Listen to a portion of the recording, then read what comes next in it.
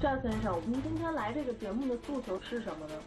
我压根儿都不想过来，多大点事儿啊，他非拉我过来。你现在不用跟我说什么了，我现在脑子里真的很乱。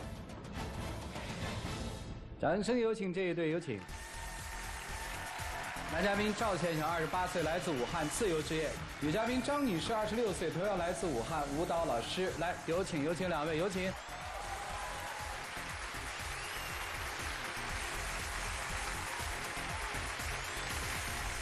欢迎两位哈，结婚几年了？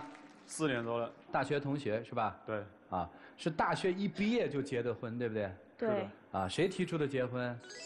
他提出的结婚。啊，你提出的结婚？嗯，对，我跟他提出的。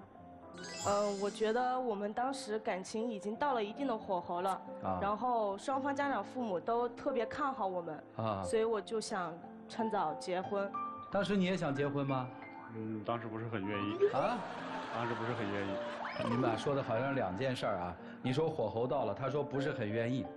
因为那个时候就是，呃，我们以前的时候在一起的时候感情真的特别好。啊，有一年冬天的时候就特别冷，他就会准备两个暖手宝，哦一个就会上课的时候会递给我，然后下课的时候就会递给我另外一个，啊，就是细节方面做得特别到位，然后我就觉得我可以把我这一生就交付给这个男人。哦，呃，结婚之后很快就有了一个宝宝，是不是？是的，啊，对于宝宝，你们当时是怎么规划的？是一个突然的惊喜，还是意外呀？嗯，我感觉挺意外的，因为当时我还接受不了这个事实，因为我当时才毕业没多久，没有稳定的工作，自己还支撑不起这个家庭，嗯所以说当时不是很情愿要这个孩子。啊，那应该是女生特别想要，是吧？对，啊，男宝女宝啊，男孩子，现在得多大了？现在有三岁多了。有了孩子之后，这男人怎么样了？他特别不成熟，对家庭没有任何的责任感，没有担当，对孩子也没有怎么管过。那谁在管啊？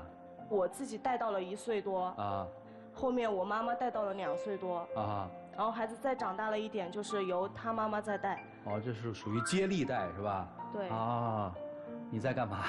我那时候有工作的嘛，啊然后他的脾气也不是很好，总是因为一点鸡毛蒜皮的小事发脾气。因为当时我确实做了一些过分的事儿嘛，比如说呢？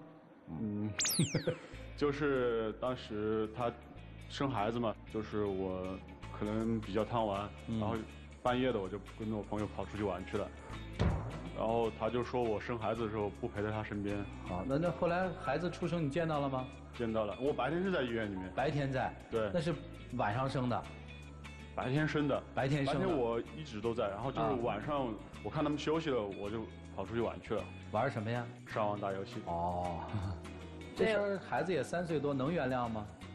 已经原谅他一千回了。哦，儿子他应该一点都不管，对吧？这么一对听下来，啊就从怀孕的时候到现在，他都基本上没怎么管过。嗯嗯基本上我们俩的状态是早上出去了之后，然后晚上回来就睡觉，基本上两个人没有什么沟通的时间。嗯啊，我看资料上您是舞蹈老师是吧？对他他是自由职业哈。对，这自由职业是怎么个自由法呢，兄弟？因为我是搞家装这一块的，啊自己接了种活，我自己就是说找人做这方面的。啊，生意做得好吗？生意做的不好，全部都亏损了。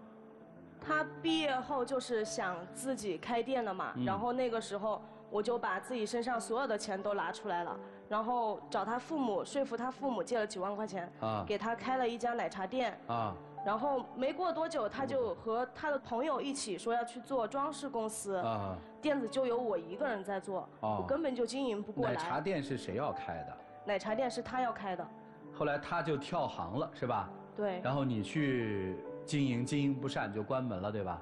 对。不是哦，当时是这样子的，嗯因为那个店面是我跟他一起在开，然后嗯我们两个总是在店里面意见不合，我又怕影响到店面的生意，嗯然后我就跟我朋友一起去开公司嘛，店面就让他一个人来管，我感觉这样好一点。